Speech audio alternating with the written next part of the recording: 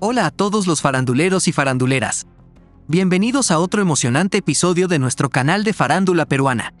Si aún no te has suscrito, hazlo ahora para no perderte las últimas noticias sobre tus celebridades favoritas. Hoy estamos tratando un tema candente que ha sacudido a la televisión peruana, un escándalo de transfobia en el programa de la Casa de Magali. Vamos a desentrañar todos los detalles de este impactante suceso, así que quédate con nosotros. Hace poco, la casa de Magali se vio envuelto en una polémica de proporciones épicas. En uno de sus capítulos, se transmitió un acto de transfobia que ha desencadenado una oleada de críticas y discusiones en las redes sociales. ¿Qué sucedió exactamente? Bueno, según las imágenes, Carlos Cacho y Andrés Hurtado no mostraron respeto por la identidad de género de Lauchulu, burlándose de su nombre tal como aparece en su DNI. Esta falta de respeto hacia la comunidad LGTBIQ más generó indignación y un llamado a la acción. Estoy harta que me digas él. Escúchame un momentito, ¿qué dice su DNI? Vamos a, a la documentación. ¿Cuál es su nombre, perdón? Mi nombre es No. Elsa. Que me traigan un DNI, el DNI. Porque a mí me habían dicho que te llamabas Paco. O Fernando.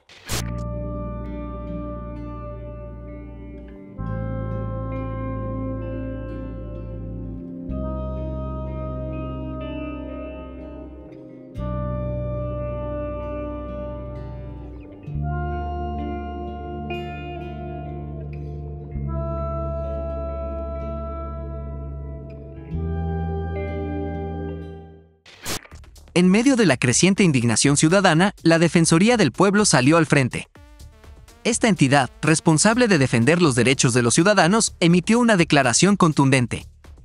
En ella, condenaron rotundamente los actos transfóbicos ocurridos en el programa y exigieron respeto hacia los miembros de la comunidad LGTBIQ+. Esto demuestra la importancia de levantar la voz contra la y la falta de respeto. Rechazamos contenido vertido por un medio de comunicación, el cual atentó contra el respeto de la identidad de género y dignidad de una persona de la comunidad LGTBIQ, bajo la intención de causar humor, señalaron. La Defensoría del Pueblo no se detuvo en sus condenas. También tomaron medidas concretas. Han contactado a las autoridades pertinentes para que se inicie una investigación sobre este lamentable episodio. Además, esperan que ATV, el canal que transmite la Casa de Magali, tome medidas correctivas. Esto marca un paso importante hacia la justicia y el respeto por los derechos de todos. Frente a este hecho, hemos cursado comunicación hacia las autoridades pertinentes y medio de comunicación, a fin de iniciar las investigaciones y adopción de medidas correctivas correspondientes para garantizar el respeto y trato digno, comentó. De otro lado, la entidad recordó que hasta el momento las personas trans no pueden acceder al trámite de rectificación de datos del RENIEC, pero eso no significa que su identidad sexual sea desconocida. Recordamos que personas trans aún no pueden acceder a un trámite sencillo y gratuito para rectificación de datos, pero bajo ninguna circunstancia, ello debe implicar desconocimiento de su identidad autopercibida, pues ello podría derivar en una situación de discriminación, añadió. Luego de lo sucedido en su reality de convivencia, Magali Medina estuvo cara a cara con Lauchulú. La periodista no dudó en pedirle disculpas por lo que vivió dentro de la casa de Magali, especialmente cuando alguien de su equipo intervino para mostrar su DNI frente a cámaras. nosotros no podíamos intervenir. Donde tú dices que te mostraron tu DNI, eso sí, me pareció. Y te pido disculpas a nombre de la producción. Por este grave error que cometieron, la Urraca indicó que tomarán cartas en el asunto y averiguará qué persona de su producción cometió esta imprudencia, esto con el objetivo de no volver a contratarlo en uno de los próximos realities que pudiera producir ella. Yo voy a hacer las indagaciones del caso porque nadie tenía derecho, nadie de producción, a darle a ninguno de los habitantes de la casa tu DNI. Eso Sí, fue un, un que yo veré que quien lo haya hecho nunca más trabaje en un reality. Bueno. Otra voz se unió al coro de indignación.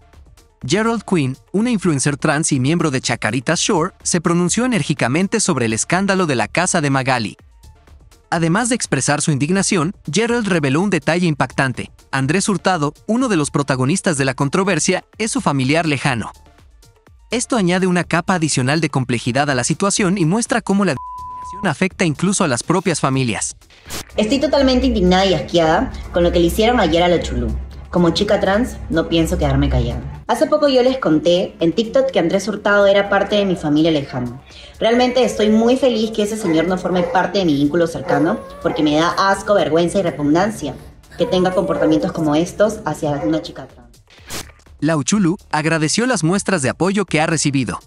En un mundo que todavía lucha contra la discriminación y la falta de aceptación, es fundamental que se levanten voces de solidaridad y amor. Lauchulu enfatizó la importancia de respetar y amar a las personas tal como son, sin importar su orientación sexual o identidad de género. Desde ya agradecer todo el amor y el apoyo que estoy recibiendo de parte de ustedes. Cada mensaje, cada regalo, me hace sentir más cómoda conmigo misma y con el propósito de estar en esta tierra viva y luchando por mis metas, mencionó al inicio. Pero no solo agradeció, también reflexionó. En sus palabras, Lauchulu hizo un llamado a la tolerancia y el respeto hacia las personas de la comunidad LGBT. Un mensaje simple pero poderoso, que prevalezca el respeto y el amor entre todos, sin importar las diferencias. Una lección importante para todos nosotros.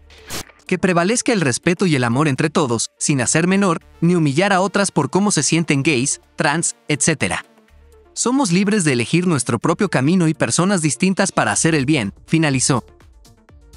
En resumen, este escándalo de en la casa de Magali ha generado una importante discusión sobre la necesidad de respetar y proteger los derechos de la comunidad LGTBIQ.